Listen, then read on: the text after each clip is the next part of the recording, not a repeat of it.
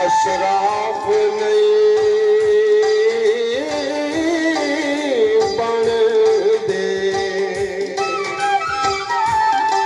जहिड़े